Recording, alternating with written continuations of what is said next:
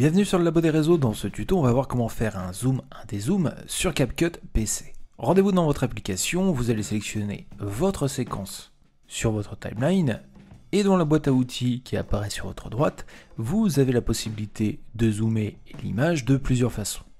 D'abord, vous pouvez simplement zoomer une séquence et la redimensionner en allant dans le size qui est juste ici et en changeant la position sur l'écran ou avec les valeurs que vous avez juste ici. Vous pouvez aussi rajouter si vous le souhaitez une rotation et pour annuler vos changements, il suffit d'appuyer sur le petit rideau qui se trouve juste ici. Donc ça par exemple, c'est si vous voulez faire un zoom plan sur cette partie-ci, on va mettre notre sujet ici. Donc on aurait par exemple un zoom sur cette partie de la séquence, après on redevient normal, et si on veut reprendre les mêmes valeurs, on coupe bien la séquence juste ici, on sélectionne notre première séquence, on va copier les différentes valeurs et les coller sur la deuxième séquence hein, pour avoir vraiment, vous voyez, on a le zoom, on est en dézoom et on est en rezoom. Ok, ici c'est plutôt si vous voulez des plans avec des zooms différents par séquence. Maintenant, autre possibilité, c'est de faire des zooms et des zooms progressifs. À ce moment-là, il faudra utiliser l'outil keyframe qui se trouve juste ici. Donc vous sélectionnez votre début de séquence, par exemple ici, on va rester sur la position initiale, mais on va vouloir juste ici passer sur un zoom, donc on va indiquer le zoom que l'on souhaite faire et la position, et nous allons noter la keyframe qui vient de s'ajouter juste ici.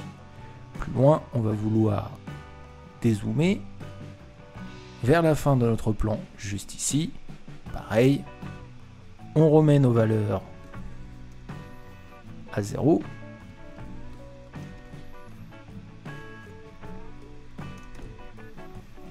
Et on ajoute bien notre keyframe. Ainsi, quand on fera lecture de la séquence en entier, nous aurons bien le zoom et le dézoom qui se mettront en place tout au long de la timeline de la séquence. Voilà pour les différentes possibilités avec la boîte à outils qui se trouve ici. Vous pouvez aussi appliquer des effets zoom qui se trouvent directement dans Effets.